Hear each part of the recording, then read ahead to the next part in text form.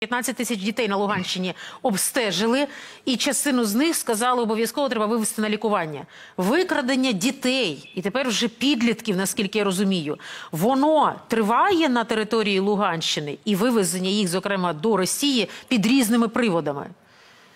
Ну, на жаль, ми всі бачили навіть е, підлітків, яких е, перевезли е, в Чечню, і чим Кадиров дуже там пишався, що от в нього є молоде покоління українців, які він особисто підготує, і ми розуміємо, для чого він буде цих підлітків готувати, враховуючи те, що е, десь в 20-21 роках.